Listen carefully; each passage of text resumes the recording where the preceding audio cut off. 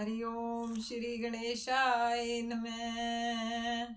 बोल सियापति रामचंद्र की जय, पवन सुत हनुमान की जय।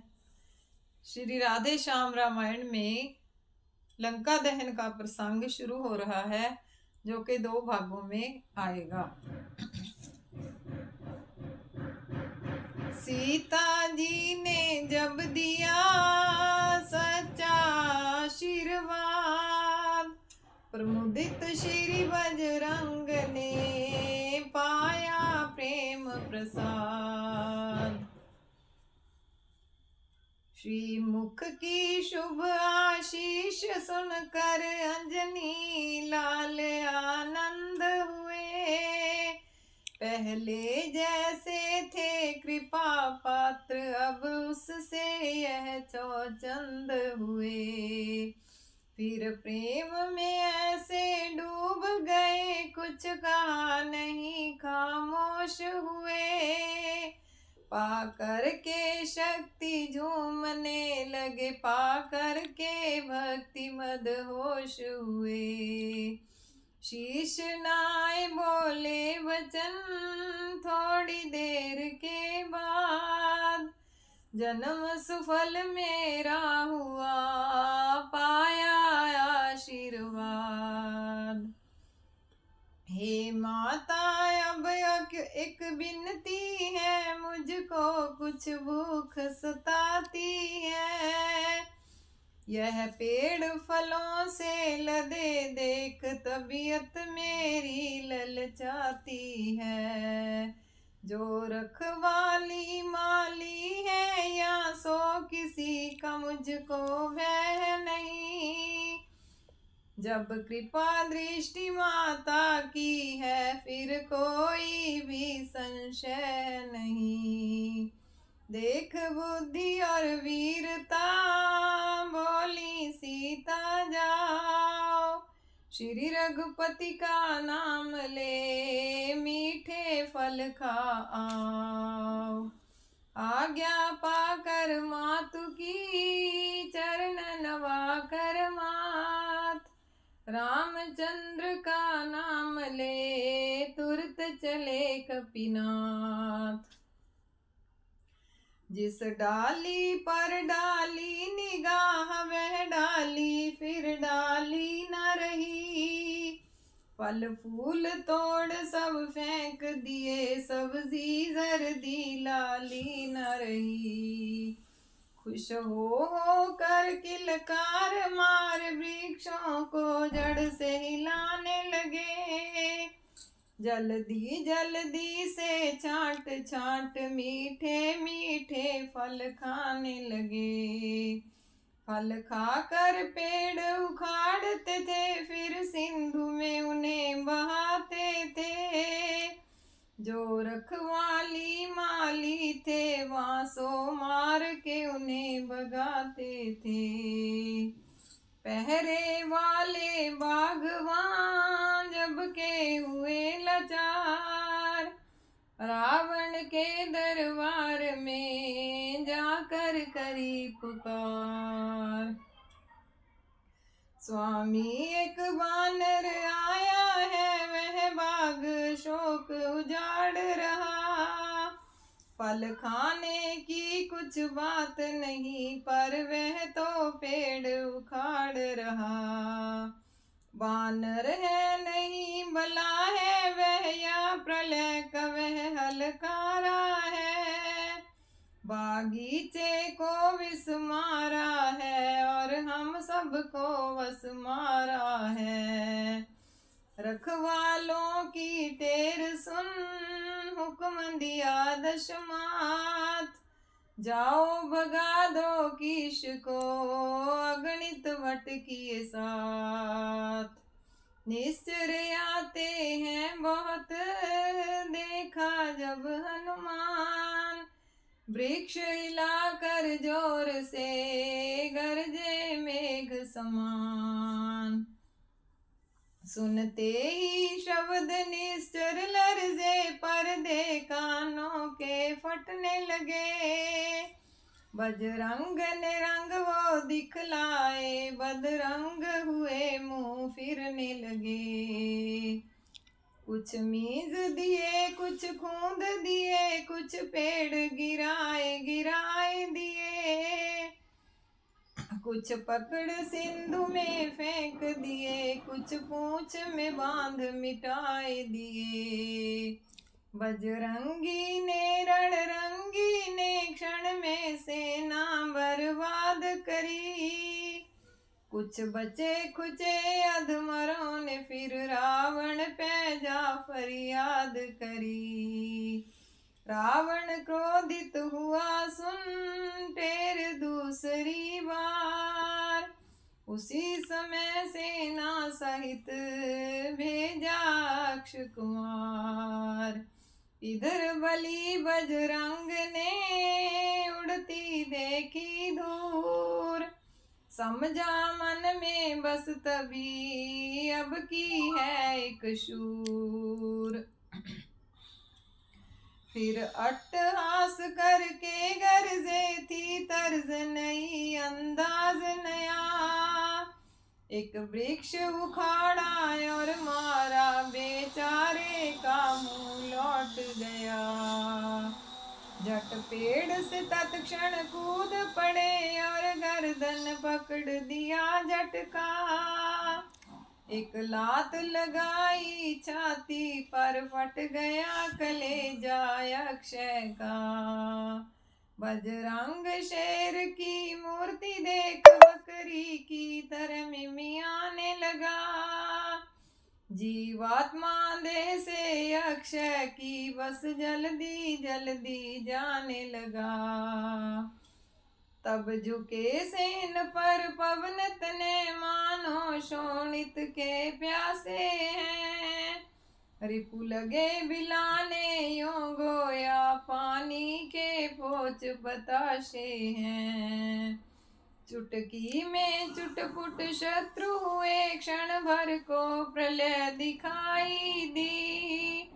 कुछ जान चुग चुग के भाग चले जाके फिर वहाँ दुहाई दी। राव, रावण ने फरियाद जब सुनी तीसरी बार, अक्ष कुंवर की मृत्यु सुन बोला जरा विचार। इंद्रजीत बेटा उठो, अभी शिक्षण क्षण जाओ। विकट बान रहा है कोई, पकड़ यहाँ पर लाओ। देखूँगा मैं कौन है ऐसा पानीदार जिसने मेरे अक्ष को रण में दिया सहार। देख इंद्रजित को उधर हंसे पवन के पूत। ताड़ लिया अब की दफ़ा, आता है यमदूत। फिर गर्ज तरज तरवर उखाड़ एक बार बार भरपूर किया। रथवान सहित घोड़े मारे, रथ तोड़ के चकना चूर किया। थे साथ अंग रक्षक जितने बजरंग बली ने सब मारे। फिर इंद्रजीत के पास जाए, जय राघवेंद्र कह किलकारे। मुष्टिक प्रहार कर छाती पे चढ़ गए, वृक्ष पे कपिराई। उस इंद्रजीत से योद्धा को मुक्का खा के मूर्छाई जब जगा तो जगते ही उसने हर तरह से अपनी माया की। बजरंग बली से बस न चला, सब दूरी में मिल गई चालाकी। चढ़े हुए थे वृक्ष पे, पवन पूत कपिराय। इंद्रजीत था भूमि पे बोला यूँ झुंझलाए। डाली डाली दौड़ कर क्यों दिखलाता चाल? बंदी करता हूँ अभी अपने लिए संभाल। मैं इंद्रजीत कहलाता हूँ और मेघनाद है नाम मेरा। शत्रुओं पैरण में जय पाना, यह रहा सदा से काम मेरा। पर आज खैर है, यह तुझको यमलोक नहीं पहुंचाऊँगा। सम्मुख श्रीमान पिताजी के बंदी करके ले जाऊँगा। हनुमत बोले, किस लिए करता कोरी बात? कहने से क्या लाभ है? दिखा कुछ करमात। यदि तुझसे कुछ हो सके नहीं तो बाप को अपने बुलवा ले।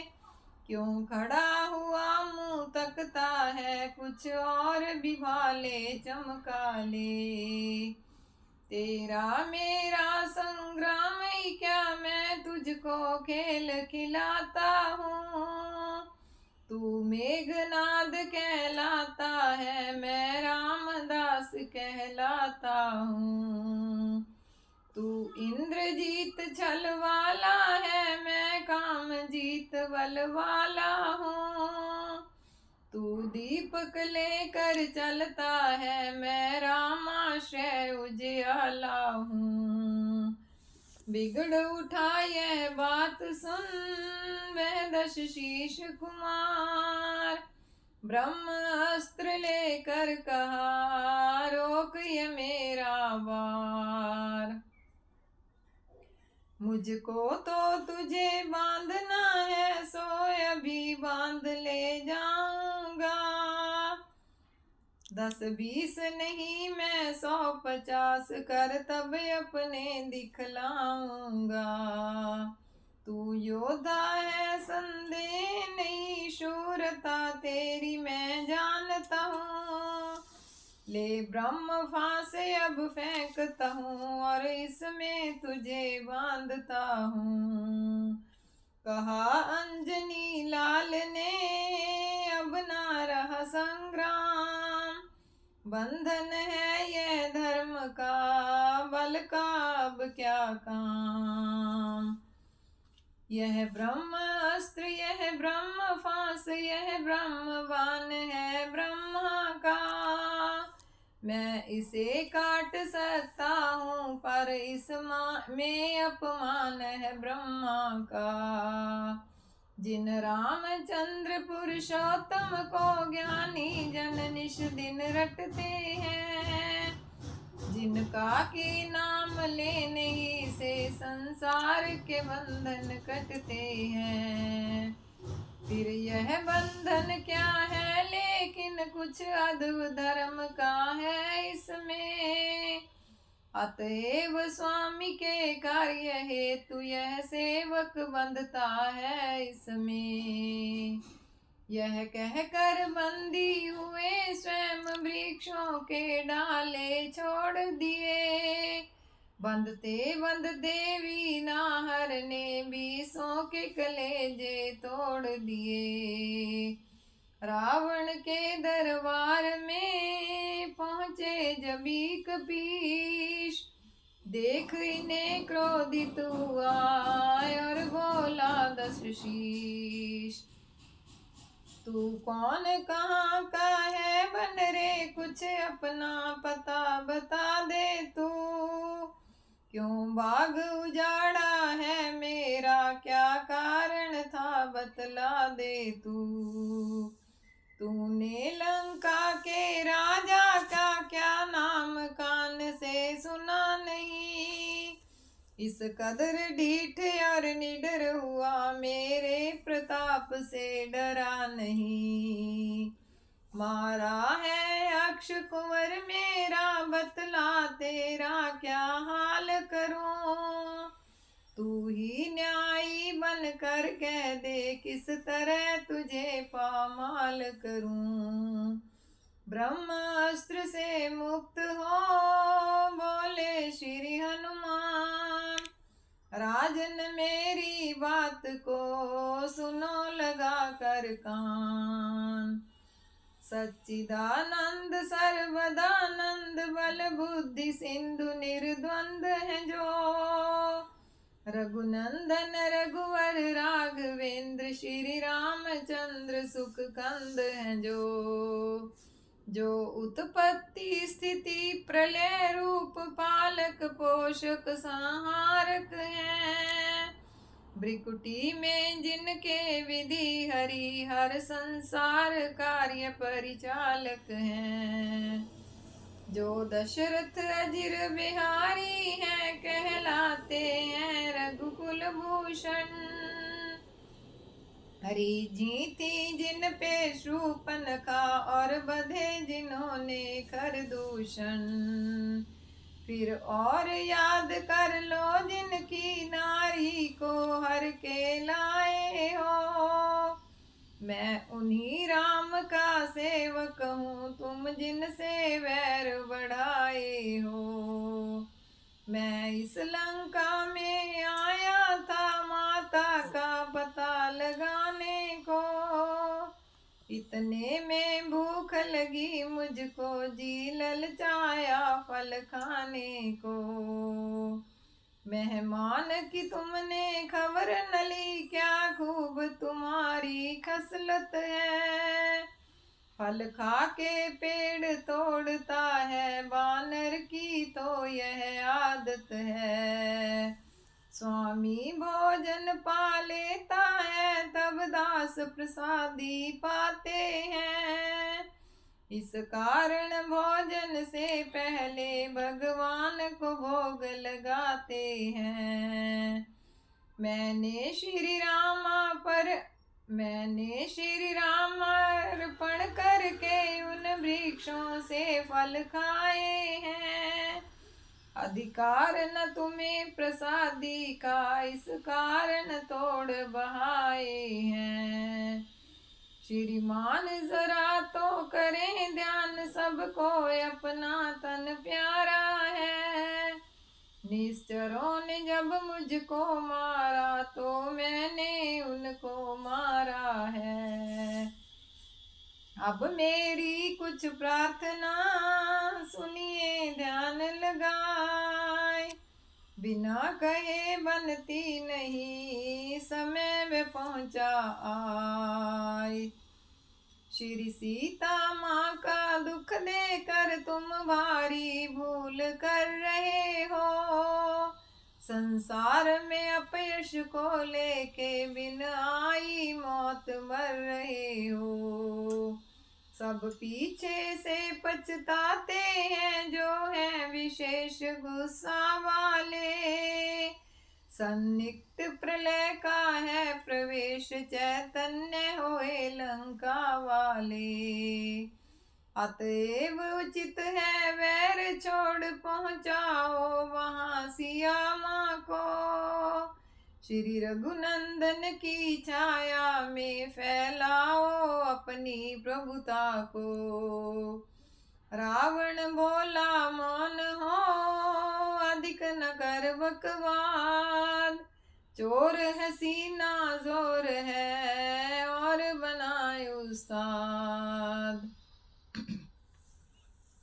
है धाक धरण से गगन तलक यह उदय अस्त कुल मुझी में। आज्ञाकारी है सूर्य चंद्र वैभव समस्त मुझमें है। टुक मेरी त्योरी चढ़ने से यह भुवन चौदों डरते हैं। ग्रह काल सुरेश कुबेर वर्ण मेरे घर पानी भरते हैं। सो बड़ी हँसी आती मुझको यह ऊट पटांग तेरी सुनकर। उस अधमत पसवी बच्चे को किस तरह बखाने चुन चुन कर। ओ वानर, तू कुस, किस ध्यान में है? मालिक को अपने समझा ले। उस वानर वाले तपसी से क्या डर जाए लंका वाले? वीर अंजनी लाल के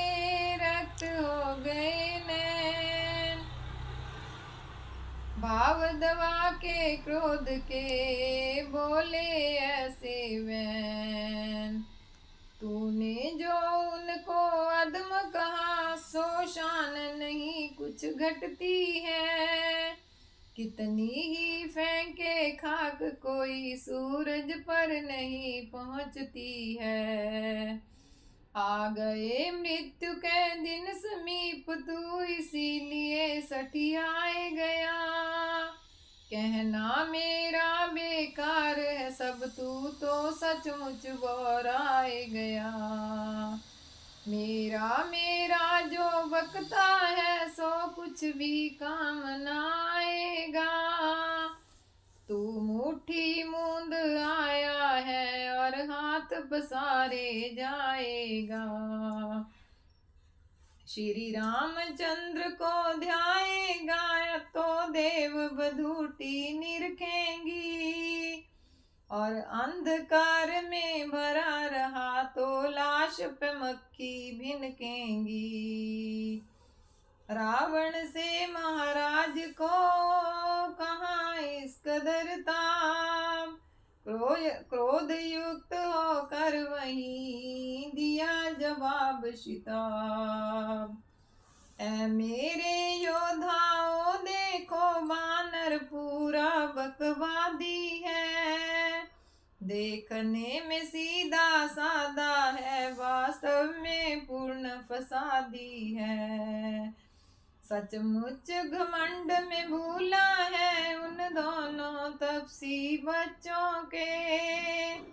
सिर इसका तन से अलग करो सामने हमारी आँखों के।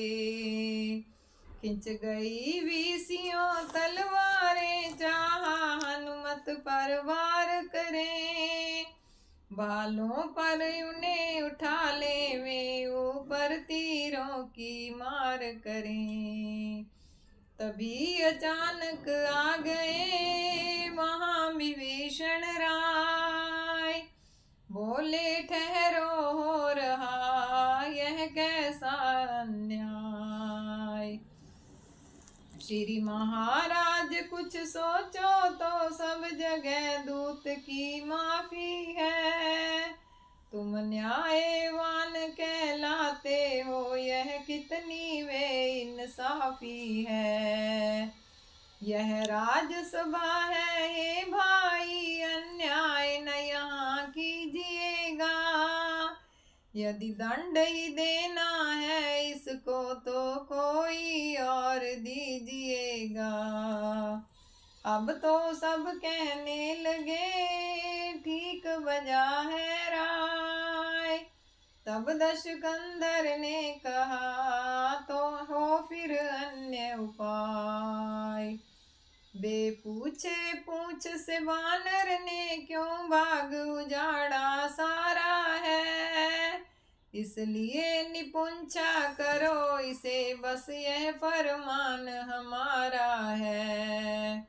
घी तेल से भीगे हुए वस्त्र बंधवा दो पूछ में वानर की। फिर आग जरा सी, थोड़ी सी लगवा दो पूछ में वानर की। जब जली पूछ से जाएगा तो स्वामी को उकसाएगा। लड़ने के लिए तपस्वियों को अतिशीघ्र तैयार कराएगा। सुनकर ऐसी आज्ञा हंसे बली हनुमान आगा पीछा सोचता नहीं है यह नादान। हे सरस्वती शारद माता, तू आज सहाय हुई बेशक। अब नाच नचा के मैं इसको सब इसकी खो दूँगा अकवक राजा ज्ञा बश आ रचना रचते थे। घर घर से तेल वस्त्र आके बानर की पूछ पे बंधते थे। लंका में खासा कौतुक था, बूढ़े बच्चे सब हँसते थे। इस ओर पवन सुत हनुमान कुछ अपनी लीला करते थे।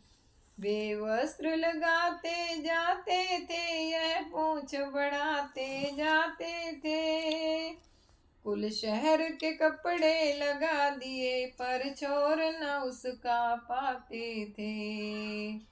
लंका में हाहाकार हुआ, काला पीला रोगन न रहा। वस्त्रों का हुआ दिवाला, वह मुर्दों के लिए कफन न रहा। लंका में हाहाकार हुआ, काला पीला रोगन न रहा। वस्त्रों का हुआ दिवाला, वह मुर्दों के लिए कफन न रहा। बच्चे, बूढ़े और तरुण हुए इकट्ठे आए। खिलवाड़े करने लगे, ढोल बजाए बजाए। अंधों को क्या थी खबर? सुख में दुख की लाग। सारा नगर घुमाए के पूछ में दे दिया बूढ़े बुज़ुर्ग जो कहते हैं, आती वह मसल यहाँ पर है। खांसी सब रोगों की जड़ है और हँसी लड़ाई का घर है। श्री रामचंद्र की प्रभुता को अंधे रजनी चर क्या जाने? बजरंग बली की लीला को मत वाले निश्चर क्या जाने? रजनी के जाते ही तुरंत ज्यो अरुण वरण मारतांड उठे। त्यों आग पूछ में लगते ही हनुमत हो परम प्रचंड उठे। अट्टहास कर दुर्ग पे पहुँचे पवन कुमार। पृथ्वी और आकाश में छाया शब्द पार। लंका में बिजली सी चमकी, फिर घन सा घन नन घोर हुआ। आकार बड़ा जब आंधी सा तो हाहाचारों ओर हुआ। कटि कमट कसक फन उर्ग फसक दिगपाल खसक, हम इमि क्रांति हुई। आही गन कपत गिरी धरणी दस्त, अति प्रबल प्रलय जिमि भ्रांति हुई। बल पड़ी हवाएँ, उन चास तरु टूट टूट कर गिरते थे। आकाश पताल, आकाश धरातल, एक हुआ अंजनी लाल यूँ बढ़ते थे। इस भीषण आकार में रहे कुछ समय वीर दीर्घ किया फिर पूछ को लघु कर लिया शरीर। चढ़ के उन कनक कंगूरों पे कलशों को ढाने लगे बली। फिर एक जगह पर बैठ गए और पूछ घुमाने लगे बली। सब हरि के द्रोही असुरों को करनी का फल दिखलाते थे।